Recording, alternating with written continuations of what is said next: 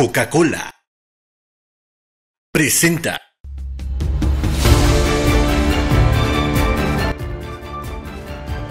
Disminuye incidencia delictiva en Ciudad Fernández durante la cuarentena.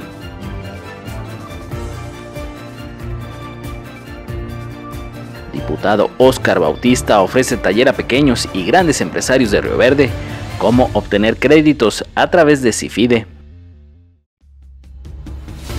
Gestionan antecedentes de pavimentación del camino Las Lechuzas. Vamos bien, pero nos falta mucho, dice director de la jurisdicción sanitaria número 4. Cero casos sospechosos o en estudio en Ciudad Fernández.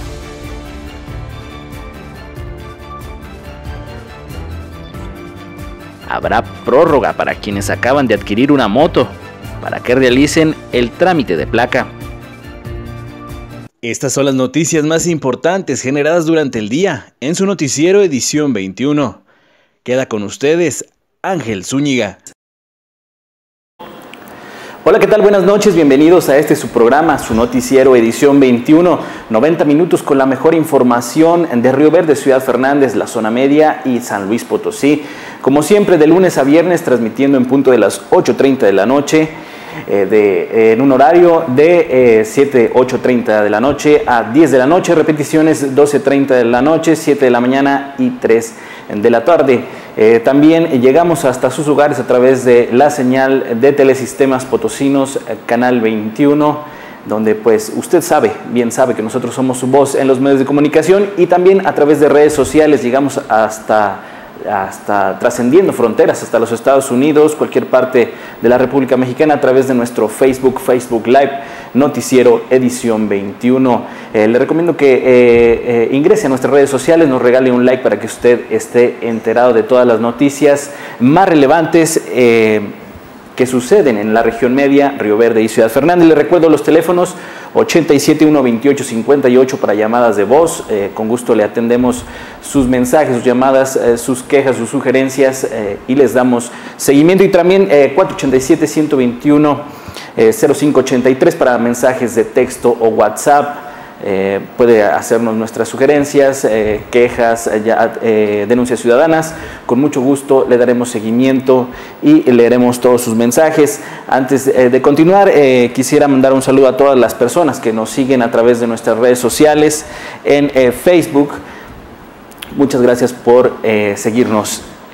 Iniciando el día de hoy este programa, me gustaría comentar el panorama epidemiológico eh, que se tiene tanto en México, en nuestro estado San Luis Potosí y propio en eh, la zona media. El día de hoy, en conferencia de prensa, como ya es eh, muy común, el, subsecretario de Prevención del Gobierno Federal, Hugo López Gatel, y parte de su equipo de trabajo de esta Secretaría de Salud, eh, del gobierno federal, pues informaron 6.875 casos nuevos eh, de esta enfermedad COVID-19 generada por este nuevo eh, coronavirus SARS-CoV-2, que pues bueno, ya ha trascendido a través de, de, estos contagios. Se han estudiado más de 48 mil 365 personas, es decir, se han aplicado eh, pruebas a más de 48 mil personas.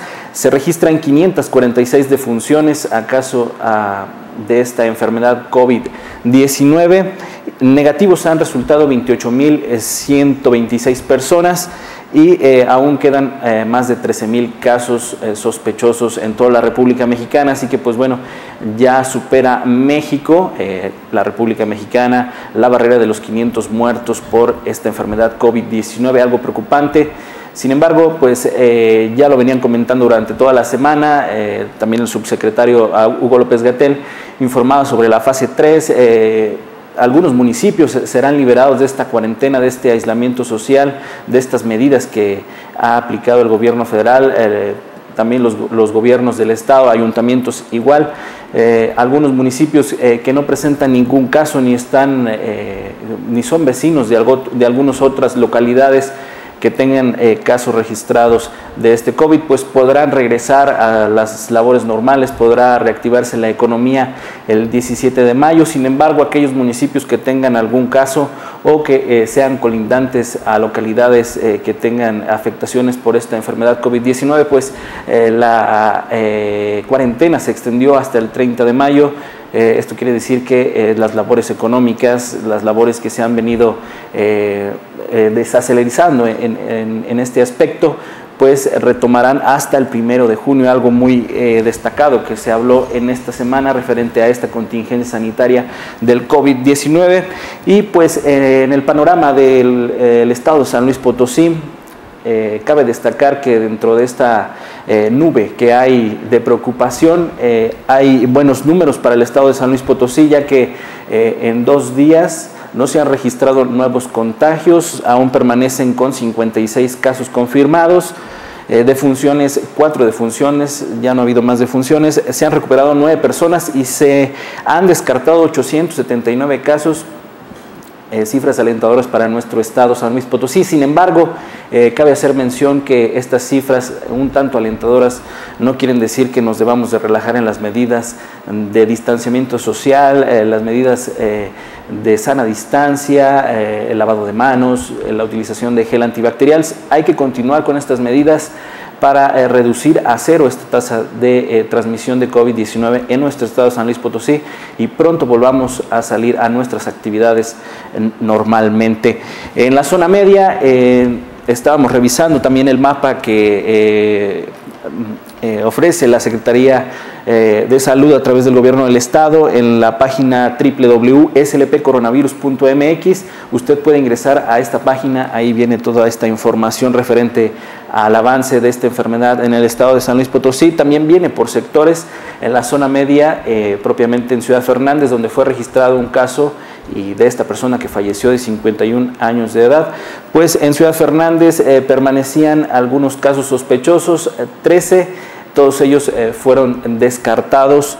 17 eh, casos en Ciudad Fernández ya fueron descartados y, se contabiliza este contagio eh, que según los diagnósticos de la Secretaría de Salud de Gobierno del Estado, pues una persona eh, que viajó desde la Unión Americana hasta Ciudad Fernández pues falleció debido a, a esta enfermedad. En el municipio de Río Verde se registra un total de 27 casos, 24 casos estudiados, 22 de ellos se han descartado y dos permanecen en estudio. Aún no hay casos confirmados. El día de ayer lo hablaban en rueda de prensa eh, de la Secretaría de Salud. Eh, se hablaba también de un caso en Río Verde, sin embargo fue desmentido. No existe ningún caso confirmado de COVID-19 en eh, Río Verde. Sin embargo, como ya lo mencionaba, no es motivo alguno para relajar estas medidas eh, sanitarias que han eh, impulsado tanto el gobierno federal, el gobierno del estado y los ayuntamientos.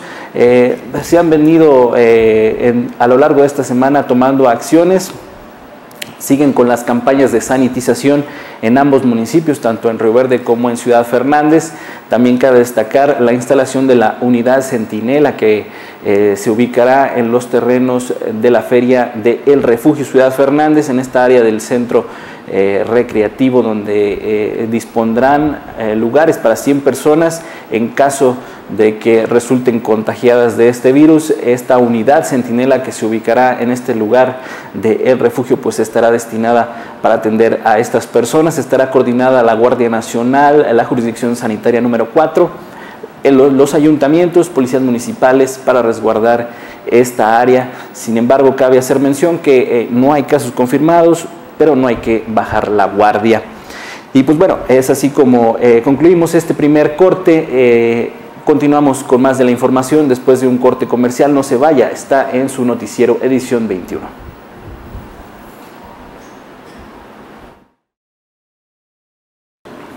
Para dar inicio con toda la información el día de hoy, eh, déjeme comentarle que en el municipio de Ciudad Fernández, la Dirección de Seguridad Pública ha percibido una baja en la incidencia delictiva en este periodo de aislamiento social. Sin embargo, la corporación no ha dejado de lado los recorridos de vigilancia, tanto en el refugio, el área de la Ribera Fernandense y la zona del Plan de Arriba. El día de hoy platicamos con el capitán Alfredo Farías Carmona, quien nos habla sobre las acciones de seguridad en este municipio de Ciudad Fernández.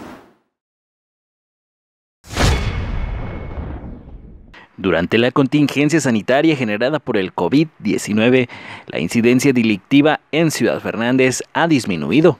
A pesar de esto, se siguen realizando recorridos de vigilancia en todas las zonas de este municipio.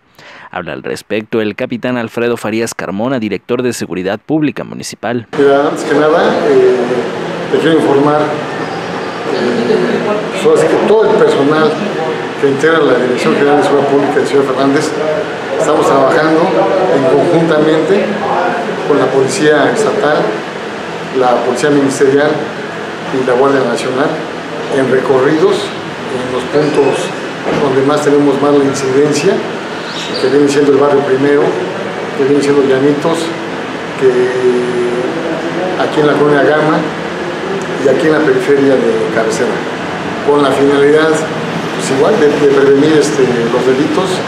En las escuelas estamos haciendo rondines, nos estamos entrevistando con, los veladores, algunas escuelas cuentan con, este servicio. Asimismo, en recorridos constantes en la zona de canales, de huertas. Eh, ahorita estamos este, también eh, revisando todo lo que es los cuatro invernaderos, la periferia de todo lo que es la ribera, así como el cañón, el plan de arriba. Ya mandamos otra vez nuevamente una unidad a Totonilco. Eh, estamos activados en conjunto con los asesores de gobierno. Capitán, según su percepción, en esta época de contingencia sanitaria, ¿han disminuido los delitos, el robo, eh, las personas eh, deambulando bajo los efectos de alguna droga? ¿Sí se ha reflejado una disminución en, estos eh, delitos? Mira, en delitos sí, sí se han disminuido. De hecho, lógico, no todos los días se detienen a personas que andan deambulando, este, ya sea bajo los influjos de alguna droga o alcoholizados.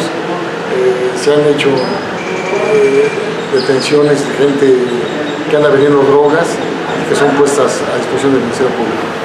Capitán, este, hace algunos días se registró un accidente en el camino a la reforma. Reiterar ese llamado a la población de que disminuyan su velocidad. Este, este camino es muy transitado y pues este accidente que ocurrió pues eh, fue parte también de la, de velocidad en la que viajaron. Sí, ahí es la velocidad y también este, el ir esas personas en, estado de ebriedad. Aquí se pudo comprobar que no, no, van, no se pueden combinar. Entonces hacemos un exhorto a la ciudadanía a que no tomen y si llegan a tomar en algún evento que ahorita pues no se les aconseja por, todo lo que estamos viviendo, sí queremos recalcar de que no manejen, no manejen, eh, no tomen, eso es lo que más quisiera, ¿no? De que no hubiera accidentes. Y pues en eso está la, dirección, ¿verdad? De prevenir en los recorridos, parando a las personas, supervisando de que cumplan con, primeramente, pues que traigan su cinturón puesto, que no vayan este, manejando con el alcohólico y hacerles la invitación. Capitán, este, se hablaba también de una fiesta, están eh, de alguna manera no permitidas. También la recomendación a las personas pues, que se, se, abstengan de este tipo de reuniones. Sí, mira, ha habido eventos, eh, cumpleaños, donde llega el personal de la dirección y pues les pide, ¿no? Les pide de que concientizar más que nada a las personas de que no deben hacer eso por este momento.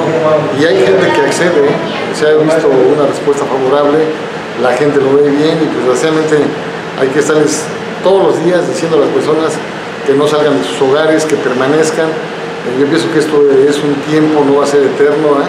entonces vamos a, a echarle ganas todos para salir adelante de este problema.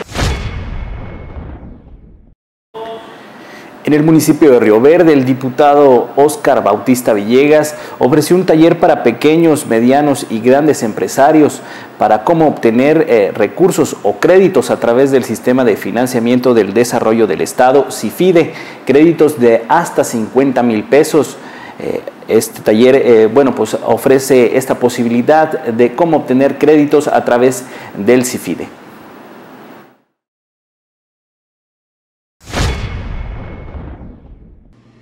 Créditos de hasta 50 mil pesos pueden obtener comerciantes rioverdenses para hacerle frente a la crisis que se está viviendo por el COVID-19.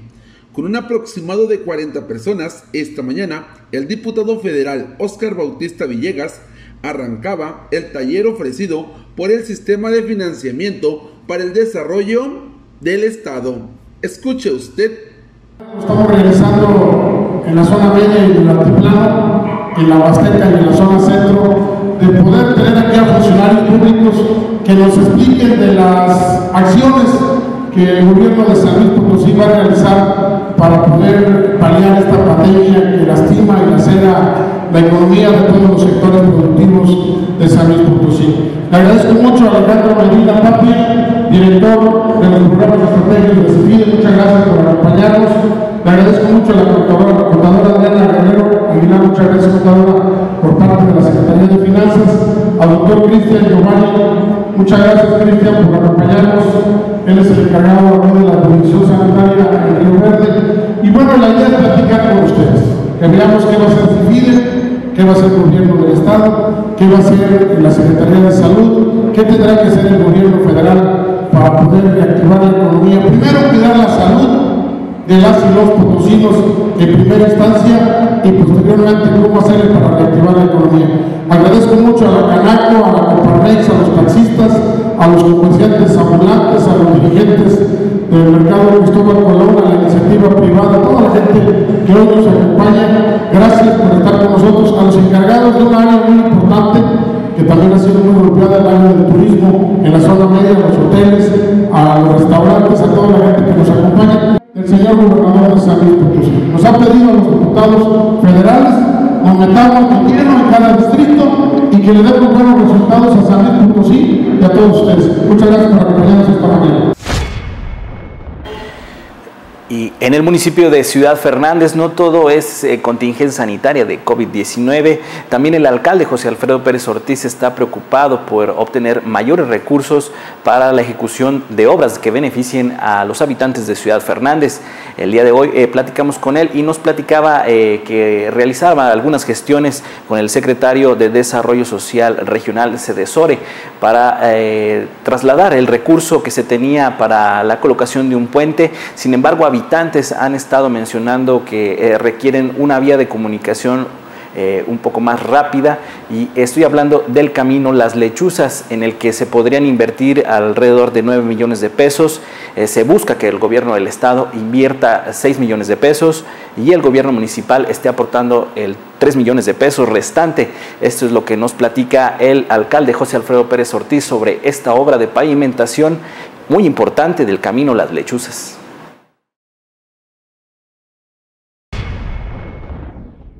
Para mantener comunicadas a las comunidades de la Ribera Fernandense, el gobierno municipal de Ciudad Fernández busca, a través de Cedesore, la pavimentación del camino de las lechuzas, en el que se estarían invirtiendo en total alrededor de 9 millones de pesos, seis de ellos aportados por el gobierno del estado y tres por parte del gobierno municipal. Habla al respecto José Alfredo Pérez Ortiz, presidente municipal. El camino de las lechuzas eh, ya platiqué con el señor secretario de la sede Soria, en San Luis Potosí, para eh, cambiar el proyecto, de, el, compromiso de campaña que tenía el señor gobernador para el puente de la Noria y que ahora pues se, tenía, se pretendía o se pretende de parte del gobierno del estado hacer un vado.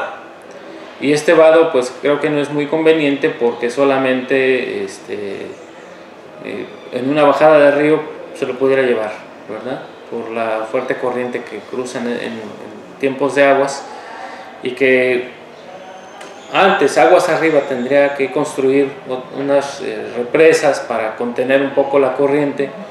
Sin embargo, este, no sería de mucha utilidad porque ya en tiempos de, de mucha agua, pues no se va a poder, va a seguir el problema, no se va a poder transitar entonces, este, ahí no hay como un puente que cuesta muchos millones de pesos. No tengo el, dato preciso, pero este, ellos quieren, el gobierno del estado quiere invertir 6 millones de pesos en un vado. Entonces, creo que si nos sumamos el gobierno municipal con 3 millones y medio, o 3 millones, poco más de 3 millones, más los 6 del estado, hacemos el camino de las lechuzas, ¿verdad? La modernización del camino de las lechuzas, el camino Puestecitos, y tendremos pues todo el año ese camino este, funcional y que nos conectaría perfectamente toda nuestra ribera en todas las estaciones de la Ya lo comentábamos al inicio del programa, las cifras un tanto alentadoras tanto en la zona media como en el estado de San Luis Potosí. Sin embargo, el jefe de la jurisdicción sanitaria número 4, 4 eh, Cristian Giovanni Montesmares, dice que vamos bien, pero aún falta mucho más para hacerle frente a esta contingencia sanitaria. Vamos a ver eh, qué habla al respecto.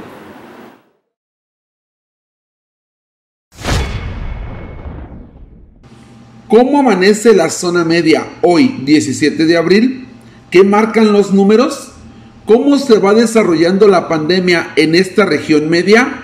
Hablamos con el doctor Giovanni Cristian Montesmares, jefe de la jurisdicción sanitaria número 4, quien dijo, vamos bien, pero falta mucho más por hacer.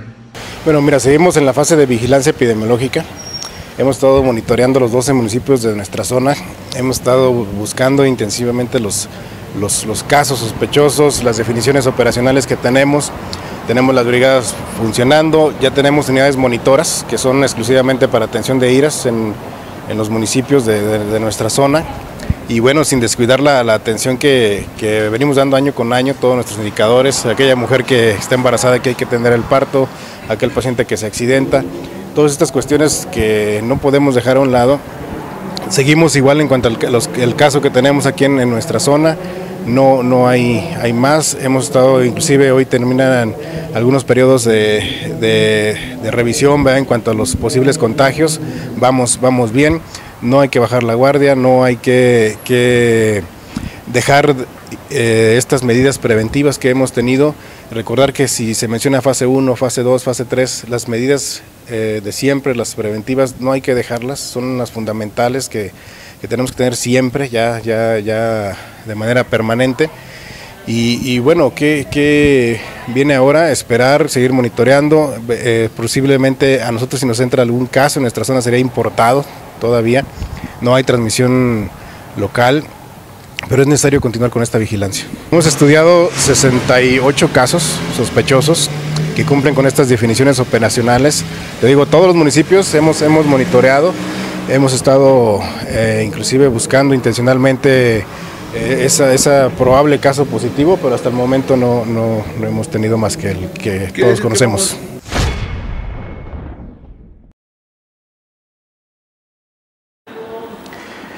487-121-0583 para mensajes de texto o WhatsApp. Agradecemos a todos sus mensajes. Tenemos por aquí una persona que nos pregunta eh, sobre eh, dónde se pueden pedir informes eh, para acceder a estos préstamos que está haciendo el gobierno para comerciantes ambulantes. nos comentan que todos los líderes de comerciantes tienen la información. Así que si usted conoce a alguno de estos líderes, diríjase a esta persona, lo canalizará con las personas correctas para que usted pueda eh, ingresar a alguno de estos eh, créditos que ofrecen de hasta 50 mil pesos, ya lo mencionaban, a través del sistema de financiamiento para el desarrollo del Estado, CIFIDE. Aprovechando también un saludo para todas las personas que se conectan a través de nuestro Facebook Noticiero Edición 21.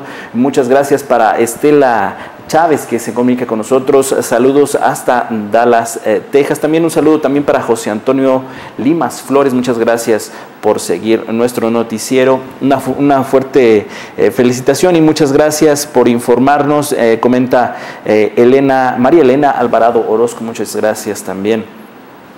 Yolanda Méndez comenta, gracias a Dios que no hay nada en Río Verde porque yo soy de Río Verde, ya me anda de ir. Pues bueno, eh, estamos para llevarles toda la información de Río Verde y Ciudad Fernández para que usted esté bien informado. Un saludo también para Pau Sujei, quien se comunica también desde el estado de Texas en la Unión Americana. También un saludo y un fuerte abrazo para Manuel Vázquez desde Dallas, Texas.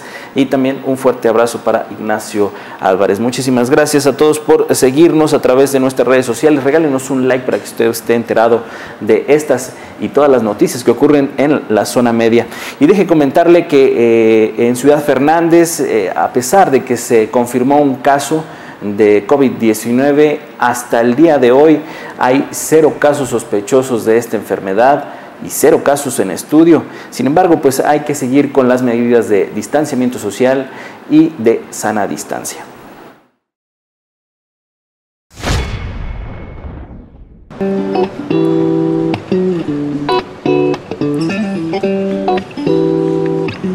Través del portal slpcoronavirus.mx, el gobierno del estado reporta cero casos sospechosos o en estudio en el municipio de Ciudad Fernández. En la gráfica se muestra un total de 18 casos estudiados. 17 de ellos pertenecen a personas que se han realizado la prueba y resultaron negativos a COVID-19. Además de un caso, del cual se trata de una persona de 51 años de edad originaria de Los Llanitos, que falleció, según por los estudios, por esta enfermedad. Por otra parte, en el municipio de Río Verde se han contabilizado un total de 24 casos sospechosos y se han descartado 22, dos permanecen en estudio.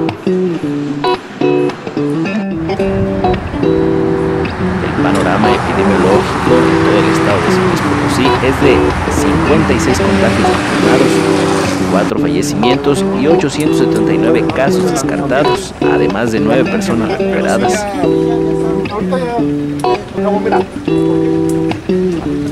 Cabe mencionar que hasta este viernes 17 de abril suman ya dos días y nuevos contagios en toda la entidad. Sin embargo, esto no exenta de acatar las medidas de sana distancia.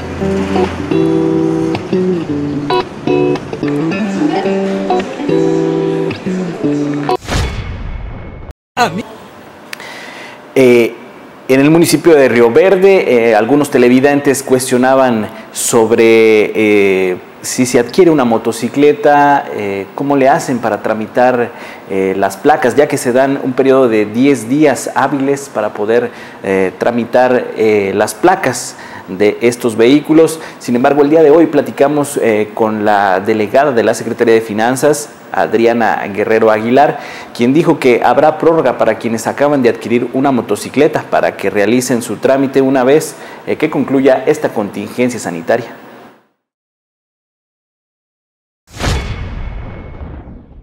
Usted, amable televidente, preguntaba cómo hacerle, con quién dirigirse si usted acaba de adquirir una moto y se da una prórroga de 10 días para iniciar con el trámite de la placa.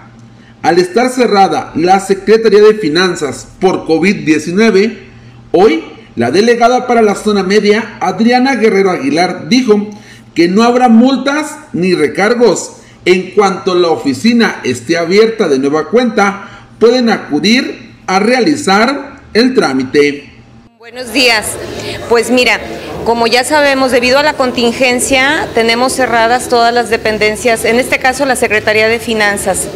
Para este tipo de trámites en específico, que es altas, llámese mm, cualquier tipo de vehículo, motocicleta, remolque, carro, camión, camioneta, son trámites presenciales. No va a haber ahorita hasta el momento, hasta que retornemos a, labores que ya nos darán la fecha oficial. Es importante que la gente sepa que no va a haber ni multas ni recargos porque se les vence el plazo de, de los 10 días que tienen para acudir a hacer el alta de su trámite. Eh, tendría que ser el pago completo como siempre se ha realizado para cualquier tipo de alta. No es muy generoso, eh, gravoso, este, y que además es importante que no va a haber ni multas ni recargos, va a ser simplemente el pago de la suerte principal. Contadora, por otro lado, eh, lo que ya se pagaron para los hoteleros principalmente, eh, el impuesto sobre hospedaje y el impuesto sobre nómina, ¿nos puede comentar? Sí, pues mira, el impuesto sobre hospedaje este, va a estar condonado durante los meses de al 100% sobre los meses de marzo, mayo y junio. Tendrían que enterarlo hasta el mes de julio, pero va a ser condonado al 100%. Y en el caso de impuesto sobre nómina, eh, para las pequeñas y microempresas que tienen menos de 50 empleados, será condonado de la misma manera al 100%. Las personas, eh, empresas que tengan más de 50 empleados, se les hará una prórroga y ya estaremos viendo y atendiéndolos. Ya lo comentaba el doctor Cristian Giovanni Montes Mares, jefe de la jurisdicción sanitaria. Sin embargo, también en Ciudad Fernández, el doctor Marco Antonio González Jasso, director de salud. eh, comenta que a pesar de las cifras positivas en, en el panorama de esta contingencia generada por esta enfermedad COVID-19, no hay que bajar la guardia, hay que seguir atendiendo las medidas de prevención para evitar la propagación de esta enfermedad.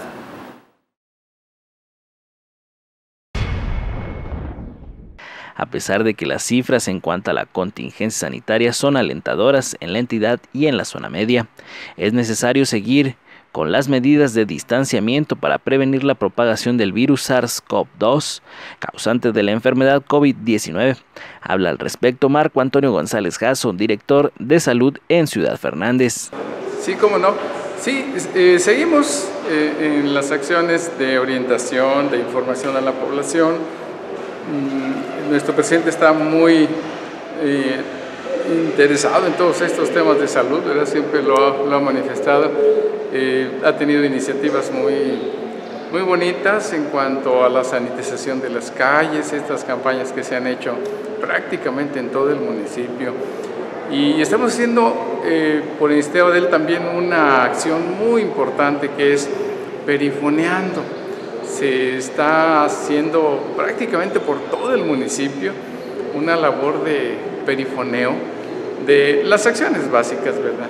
Toda la población tenemos que estar eh, bien informados de que el manejo de esta epidemia por la que pasamos depende de nosotros. Si nosotros mantenemos las recomendaciones derivadas, desde luego, del conocimiento científico que se tiene del virus, de la forma de transmitirse, de su contagiosidad, eh, de ahí se derivan las recomendaciones. Y aprovecho para repetirlas así en forma muy sencilla. El virus se transmite de persona a persona. Hasta donde sabemos, no anda en el ambiente. Si nosotros mantenemos una sana distancia de las personas, nos vamos a mantener a raya. De hecho, vamos a mantener a raya al virus. El virus, en la mayor parte de las personas, les produce o ningún síntoma o síntomas muy leves y en dos, tres semanas esa persona se hace inmune al, virus. Eh, y de eso se trata, de que esta epidemia pase en que más personas se vayan haciendo inmunes sin contagiar a otras. Esa es la razón de las medidas de la sana distancia. Eh, alguna persona que tenga tos tiene que usar cubrebocas. Y ahora la Organización Mundial de Salud ha aumentado más la recomendación de cubrebocas. Ahora se recomienda traerlo en la calle. Cuando uno sale a alguna actividad fuera de casa, eh, vuelvo a insistir también en cuanto al quédate en casa, es una recomendación muy buena. Quien le sea posible quedarse en casa, la casa es el lugar en este momento más limpio, más libre de virus para quien le sea posible. Pero que tenga que salir, se le recomienda salir con cubrebocas. Y para ponerle sazón a la comidilla, aquí están las breves de su noticiero edición 21 de mi compañero Alejandro Salas.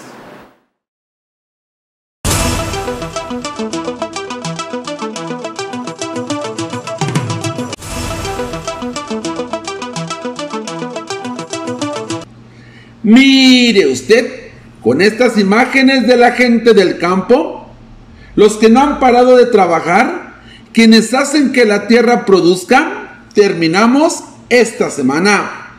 Por ellos que no pueden dejar de ir a laborar, usted, usted quédese en casa. Hay que cuidarnos entre todos. Algún día esto será historia. ¿Qué cosas no? Canalear, una palabra muy nuestra, muy de Ciudad Fernández y Río Verde. Y esta es la plena temporada, pero ni modo, hay que esperar. Ya pronto volveremos a llenar los canalitos de gente. No desespere, sigue en casa, no salga de casa. Para cuando esto pase, estemos todos. Y ahora sí, al aguapato. Oiga usted, yo pensé que nada más habían puesto esos estorbosos fierros en la plaza principal de Río Verde. Y me sorprendió el ver que la gente sí los usa. Río Verde, mi pueblo bicicletero. Algún día todo volverá a ser igual o mejor, ya estaremos más educados y ya cuidaremos más el planeta. Ya nos vamos. Aquí le dejo un poco de humor. Cuidado, andan sanitizando con agua y cloro. Quite la ropa del tendedero. O usted que todavía tiende en la calle, tenga cuidado. O usted que deja los pantalones en el cercado o la barda, no se los vayan a despintar. ¿Qué cosas no? Ya es viernes.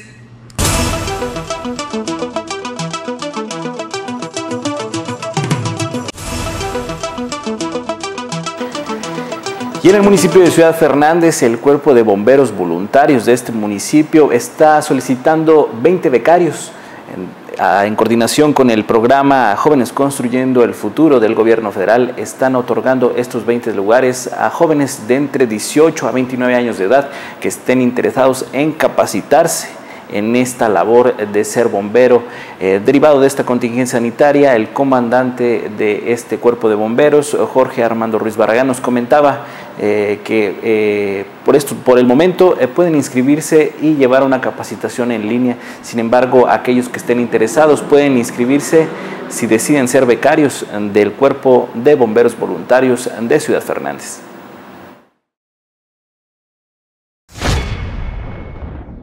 El Cuerpo de Bomberos Voluntarios en Ciudad Fernández cuenta con al menos 20 espacios para becarios, esto a través del programa del Gobierno Federal Jóvenes Construyendo el Futuro. Los jóvenes interesados deberán contar con una edad de 18 a 29 años de edad. Para registrarse, pueden acudir a las instalaciones de bomberos ubicados en la bodega de Fertimex. Habla al respecto Jorge Armando Ruiz Barragán, comandante de bomberos. Sí, ¿qué tal? Este, bueno, eh, aprovechando este, tu medio de comunicación y aprovechando la pregunta, sí, ahí en el Cuerpo de Bomberos de Ciudad Fernández este, se gestionaron unas becas de jóvenes de Construyendo el Futuro, sí, eh, donde jóvenes de edad de 18 a 29 años podrán este, inscribirse ¿verdad? Ahí como bomberos eh, y hacemos la, invitación, ¿verdad? Este, tenemos este, lugares, ahorita por lo, de la situación, ¿verdad? jóvenes que no, que no, no tengan trabajo, este, pues se les puede dar una oportunidad, ¿verdad? Uh, pueden adherirse ahí al, al, al, cuerpo de bomberos teniendo una beca ¿verdad? económica. Este, los requisitos pues son este, la credencial del lector, eh, la CUR, la acta de nacimiento, comprobante de domicilio y pueden venir aquí a, la, a, a las oficinas, ya, bueno, ya sean bomberos o aquí en, en protección civil para, para inscribirse. ¿Cuántos espacios cuentan? Eh, bueno, al parecer tenemos 20 espacios, este, ya se han inscrito este, algunos jóvenes, este, pero sí, bueno, está la oportunidad, ¿verdad? que la queremos abrir, ¿verdad? como mencionaba, eh, ahorita por la situación, ¿verdad? puede ser una oportunidad para algunos jóvenes. Eh, eh, derivado de la contingencia sanitaria, ¿puede que esta capacitación pues, sea en? Sí, este, bueno, ahorita sabemos que no puede haber este, aglomeraciones, este, y en el centro de trabajo, que es Bomberos Ciudad Fernández, pues tenemos personal de guardia. Eh, por seguridad y por las instrucciones que ha girado este, a nivel federal ¿verdad? el, Departamento de, Salud, pues sí pueden ser este, en, línea por algunas semanas, ¿verdad? Eh, de acuerdo a la, bueno, esperar las indicaciones que nos den, ¿verdad? pero sí se, se puede inscribir este, en estos días. Este, eh, bajo las indicaciones que tenemos, el comienzo del, del, de, esta, de estas becas son para el día eh, 20, 21 de abril, que sería el próximo lunes. Entonces sí hay, hay espacio, ¿verdad? Y hacemos la invitación. ¿Algún rango de edad? Eh, es de jóvenes de 18 años a, a 29 años, ¿verdad? Este, el, el, requisito es ¿verdad? que no, no estén estudiando, este, no tengan un trabajo y el, los documentos ¿verdad? que ya se han mencionado. Bomberos requiere de más personal que esté capacitado, que se sienta con ese compromiso también de, de apoyar a las personas. Así es, también queremos por eso aprovechar esta gestión que se hizo para estas becas, para que pues, jóvenes se puedan adherir a, bomberos, ¿verdad? que nos apoyen. Ahorita estamos, este, pues aparte de la contingencia, no hay que olvidar que estamos en, en, época de, incendios, ¿verdad? Se les, puede capacitar a las personas para que nos puedan apoyar y en, otras cuestiones administrativas también.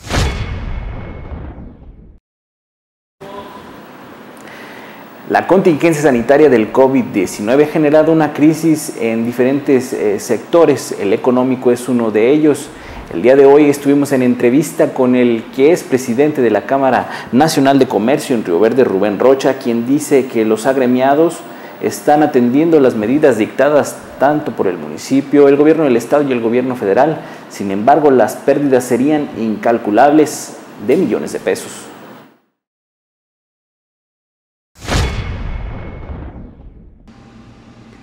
En entrevista con el presidente de la Cámara Nacional de Comercio en Río Verde, Rubén Rocha, manifestó que están acatando las reglas que ha indicado el gobierno municipal, estatal y federal, pero que el sentir de los agremiados a Canaco es que esto va a representar pérdidas económicas incuantificables. Es una, una situación que debemos entender que es una situación crítica desde el punto de vista de salud y desde el punto de vista económico, tanto para la población en general sobre todo para los comerciantes de la zona, de la zona media de toda la República Mexicana.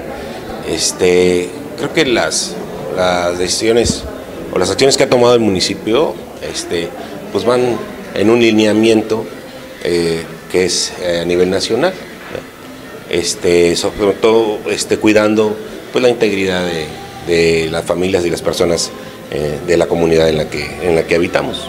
Pues eso difícilmente lo vamos a poder ver. O sea, un apoyo desde el punto de vista económico por parte del municipio hacia, hacia los comercios, yo lo veo muy difícil. La realidad es que estos apoyos se están manejando desde arriba, desde el nivel federal y luego hasta el nivel, a nivel estatal como lo hemos visto en las noticias, pues sí hay apoyos a través del gobierno federal y también este, a través del gobernador de nuestro estado, también se generan varios apoyos para los comercios, tanto este, los que están regulares como los irregulares. Realmente estamos muy preocupados y, también los, miembros de la Cámara están preocupados por la situación, tomando en cuenta que, se ha extendido esta, esta eh, eh, cuarentena, que ahora, ahora ya es ochentena, ah, ahora ya es ochentena porque está programada para hasta el 30 de mayo y paulatinamente ir regresando a las, a las actividades. La verdad veo muy, muy difícil el panorama, pero sin embargo entendemos que es una situación de, de, primera necesidad porque pues está por delante la salud de, de la comunidad. Mira, creo que en estas, a estas alturas, en el medio este, municipal, simplemente te puedo decir que en el medio municipal eh, la cantidad de, pérdida económica que hay ya, ya empieza a ser un poco incuantificable, porque realmente este, eh, esto está quebrado. Son pérdidas millonarias, simplemente en la zona media. El día de hoy, corporaciones de bomberos de Río Verde y Ciudad Fernández unieron esfuerzos para controlar un incendio que se registró en la localidad de Puestecitos, en Ciudad Fernández.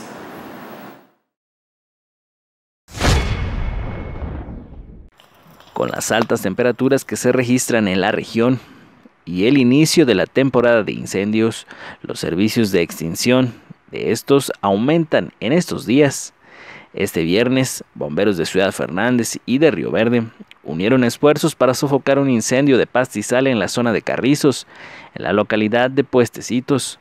Las alarmas de emergencia sonaron alrededor de la una de la tarde de este viernes, cuando se solicitó el apoyo de bomberos de Río Verde para sofocar un incendio registrado en la localidad de Puestecitos. Las rachas de viento amenazaban con propagar el fuego hasta un área donde se encontraban algunas viviendas. Sin embargo, gracias a la pronta reacción de ambas corporaciones de auxilio, se logró evitar alguna tragedia. Cabe mencionar que en la presente temporada, corporaciones de bomberos en ambos municipios reportan al menos cinco incendios diarios, la mayoría de pastizales. El factor principal que inicia estos siniestros es la quema descontrolada de basura o de terrenos para sembrar. Corporaciones de bomberos sugieren a la población tomar medidas de prevención al realizar quemas en baldíos, contar con un cubo de agua o arena para en caso de que las llamas se propaguen sean extinguidas con prontitud.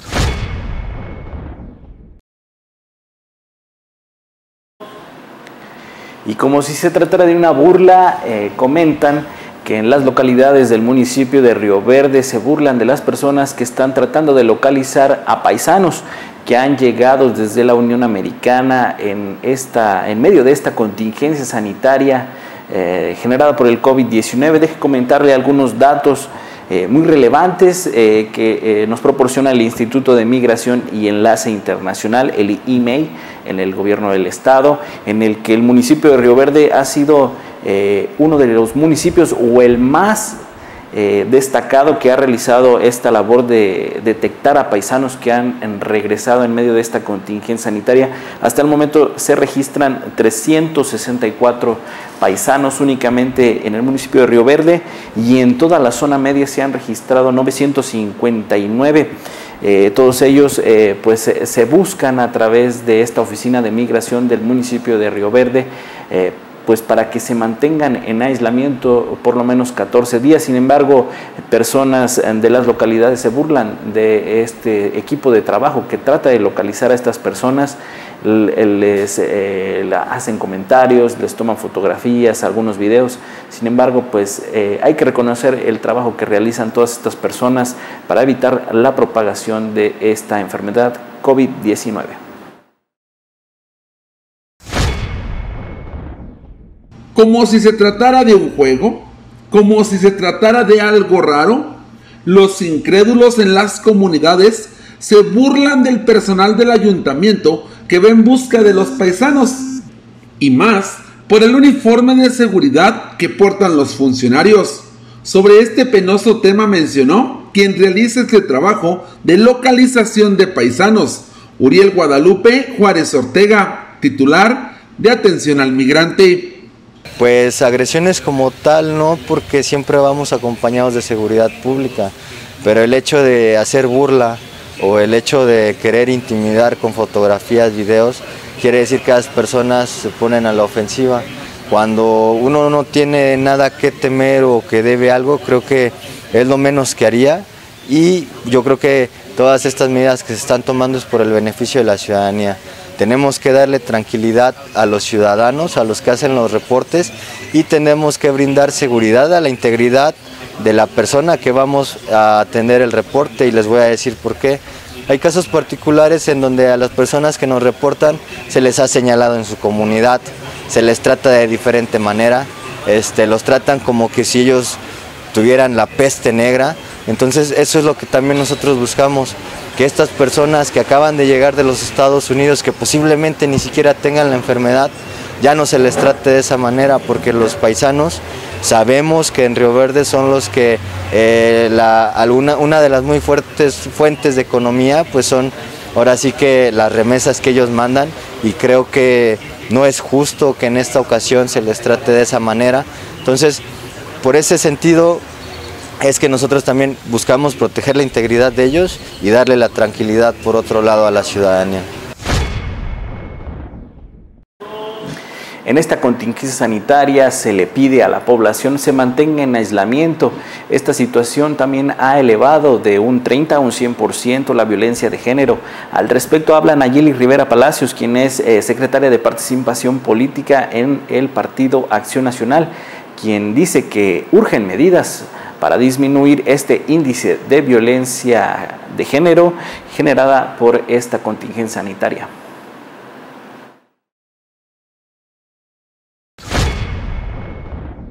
Recientes estudios revelan un incremento del 30 y 100% la violencia contra la mujer en los últimos 30 días en todo el país y por ende en la entidad potosina, por lo que urge un plan de apoyo hacia este sector tan vulnerable, pues la crisis económica y el encierro son riesgos constantes para las mujeres y sus hijos. Habla al respecto Nayeli Rivera Palacios, secretaria de Participación Social de la Mujer en Acción Nacional. El incremento en las cifras de violencia familiar y contra las mujeres es urgente que el gobierno del estado implemente medidas adicionales para evitar estos hechos en los hogares potosinos. Se ha crecido entre el 30 y el 100% la violencia contra la mujer en los últimos 30 días en el país y por ende en la entidad potosina, por lo cual es urgente un plan de apoyo hacia este sector tan vulnerable, pues la crisis económica y el encierro son riesgos constantes para las mujeres y sus hijos. En todo el país, la estimación del aumento se basa en las llamadas de emergencia que se realizan al 911 según datos de la Secretaría de Gobernación en el cual, a pesar de brindar orientación a las víctimas y de hacer una valoración de nivel riesgo, no es suficiente. Por ello, desde Acción Nacional ya habíamos presentado una propuesta desde el 28 de marzo para establecer albergues y refugios para mujeres víctimas de violencia intrafamiliar, además de establecer los mecanismos para que ellas pudieran realizar sus denuncias a través de páginas de Internet y de mensajes de texto.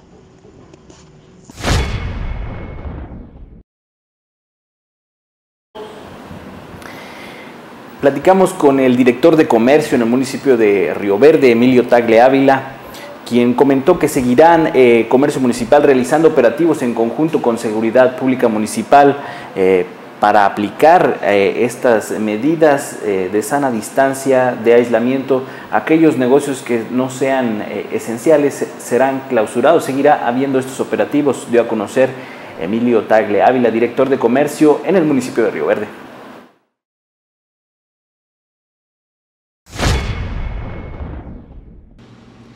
Seguirán los operativos por parte de Comercio y Policía Municipal de Río Verde en busca de que los comerciantes acaten las reglas establecidas. Además, se pondrá mano dura con las cadenas nacionales como Coppel. Únicamente puede funcionar su banco. Prohibidas las ventas de muebles y aparatos electrodomésticos, mencionó Emilio Tagle Ávila, titular de Comercio. El paso a seguir ahorita es eh, seguir haciendo operatividad con seguridad pública municipal. Hay este, recorridos permanentes. Eh, aunado a esto, te comento que eh, los elementos de, comercio son llamados si es que se detecta algún comercio por seguridad pública para llegar a atenderlos. Mm, dentro del catálogo de, este, dentro del catálogo del sector salud, como esencial contempla los servicios financieros, eh, los negocios más grandes, me imagino que los que haces mención, eh, tienen contemplado este giro. El día de ayer se presentaron el licenciado Rubén González, el tesorero municipal y el licenciado Porras por parte de Salubridad para deslindar eh, las áreas comercial de lo esencial. se va a hacer este, se acordó, perdón, se acordó con los, los gerentes de estas empresas para que se lleve a cabo nada más la venta de lo de perdón se haga nada más el trámite de lo esencial. Separar este ya sea con cercado este perimetral para que se haga nada más única y exclusivamente lo que es servicios bancarios. Ante esta epidemia de COVID-19 se han dejado de lado la atención algunas acciones de prevención de otras enfermedades como lo es el dengue en la zona media. Sin embargo, el doctor Marco Antonio González Caso habla al respecto y menciona que eh, una de las acciones de prevención de esta eh, transmisión de dengue es la descacharrización. Hay que seguir y atender estas medidas para evitar la propagación del mosquito transmisor del dengue.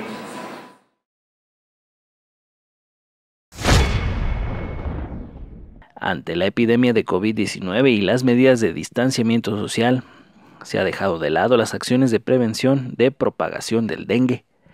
Una de las medidas más efectivas para evitar la proliferación del mosquito transmisor de esta enfermedad es la descacharrización.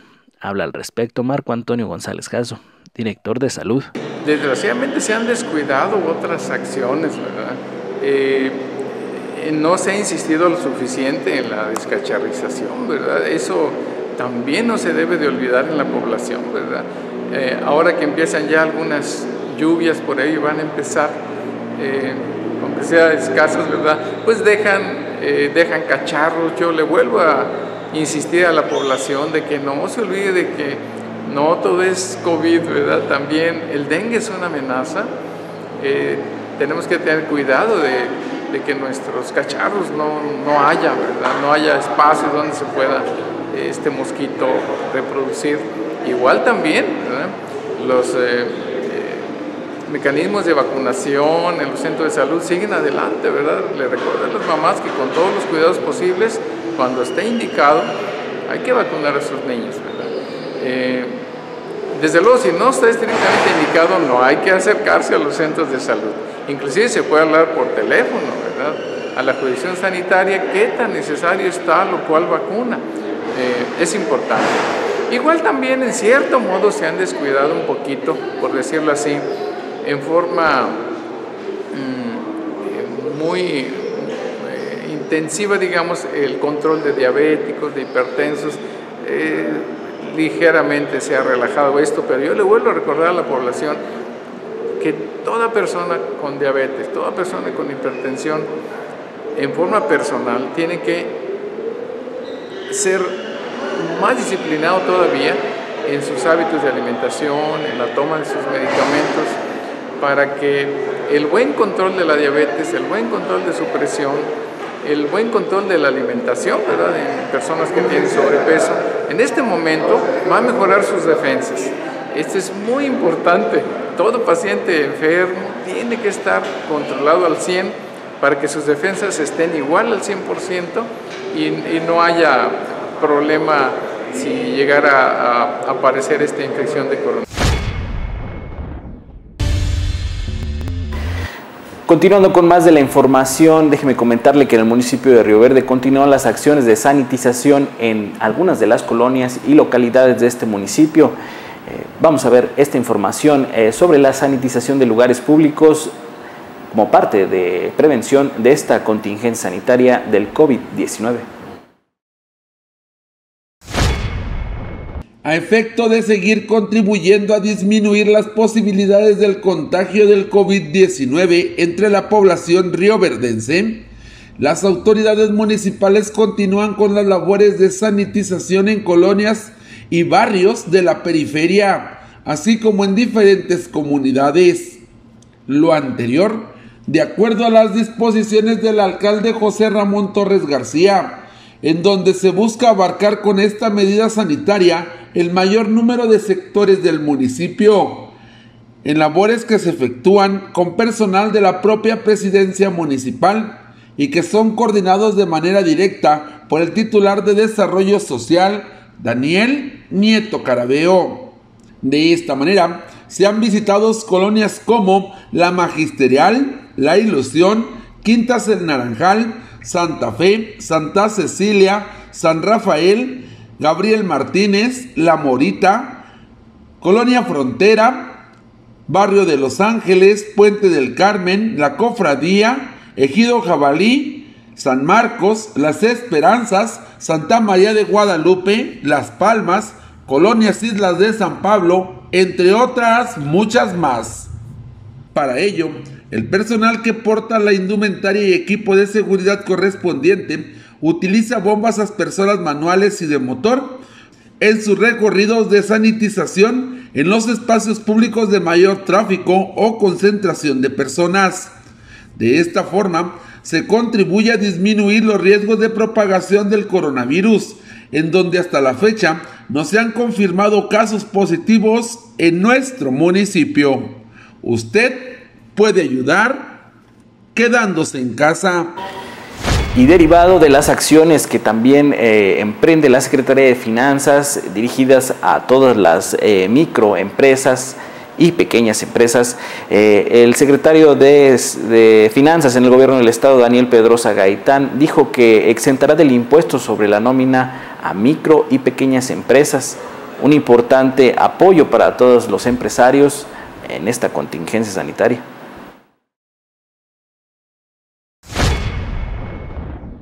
El secretario de Finanzas del Gobierno del Estado, Daniel Pedrosa Gaitán, dio a conocer que de marzo a junio del 2020, la administración estatal que encabeza Juan Manuel Carreras López otorga un estímulo económico del 100% del monto total de impuestos sobre erogaciones por remuneraciones al trabajo personal a micro y pequeñas empresas, como parte de las medidas de apoyo económico para la contingencia sanitaria del COVID-19. El titular de la Secretaría de Finanzas precisó que este estímulo fiscal está dirigido a las y los empresarios que cuenten con hasta 50 trabajadores y que durante estos meses conservan por lo menos el 90% de la planta laboral, con el objetivo de apoyar al mismo tiempo a las potosinas y potosinos que laboran en micro y pequeñas empresas, garantizando su empleo. Pedro Zagaitán explicó que para las y los empresarios pueden acceder a este estímulo deberán solicitar a la CEFIN constancia que acredite que conservan por al menos 90% de la planta laboral en dicho periodo. Asimismo, presentar comprobante de pago de cuotas obrero patronal del Instituto Mexicano del Seguro Social por el periodo correspondiente al segundo tercer bimestre del ejercicio 2020. Por último, realizar el pago del impuesto causado en los meses de marzo a junio a más tardar el 15 de julio del 2020, sin calcular actualizaciones ni recargos. El sistema de la Secretaría de Finanzas estará adaptado para aplicar este estímulo sin mayor requisito que hacer el trámite de declaración y, en su caso, el pago del impuesto por el periodo que abarca.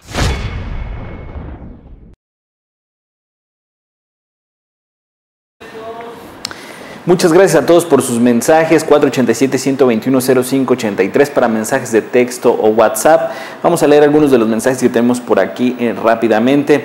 Eh, dicen, buenas noches, una pregunta para el encargado de controlar los bares, antros y bares en Ciudad Fernández.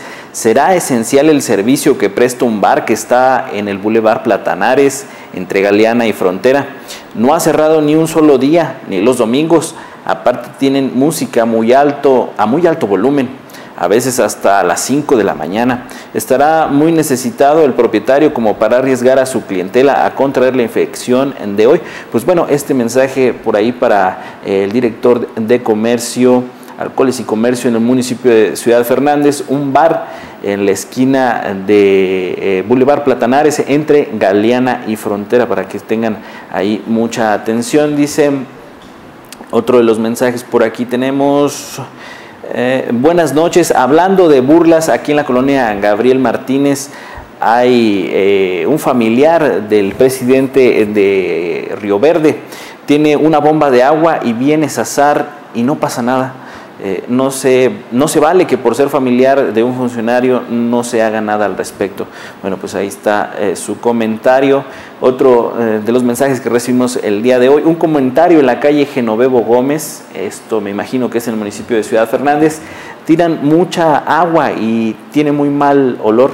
La calle está marcada la casa en esta calle está marcada con el 411 y las autoridades competentes no han hecho caso por favor hagan algo al respecto. Pues bueno, eh, las autoridades de jurisdicción sanitaria o bien eh, en sindicatura también están eh, prestando algún servicio en el municipio de Ciudad Fernández, aunque permanece cerrado, siguen dando la atención ciudadana de manera normal. Usted puede también presentar su queja en esta área. Y continuando con más de la información, fíjese que eh, derivado del incremento de la violencia de género, la violencia a las mujeres, el Centro de Justicia para Mujeres en todo el estado aplica el protocolo de atención de emergencia por violencia de género.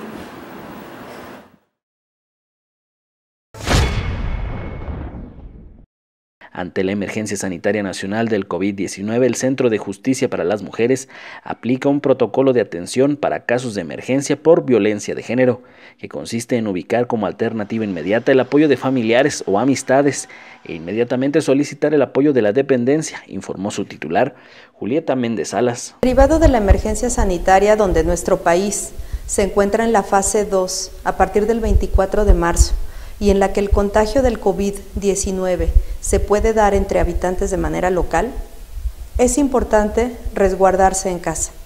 Y si este no es un lugar seguro, ubicar como alternativa a familiares o amistades con quien permanecer durante esta etapa de la contingencia. En caso de necesitar orientación de los centros de justicia para las mujeres, lo primero deberá ser comunicarse vía telefónica y en nuestras redes sociales CJ Mujeres SLP. O bien pueden comunicarse al número de emergencias 911 que se encuentra habilitado 24 horas. Tenemos una estrecha colaboración con la Secretaría de Seguridad Pública para poder atender los casos de extrema urgencia. Para quienes ya son nuestras usuarias, permanecerá habilitado el número móvil de emergencia en horario abierto. Recordemos, lo más importante para Centro de Justicia en esta etapa de la contingencia es preservar la salud de las mujeres, sus hijas e hijos.